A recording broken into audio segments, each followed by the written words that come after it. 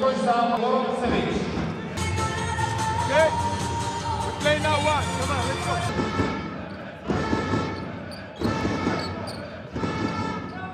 on, let's go.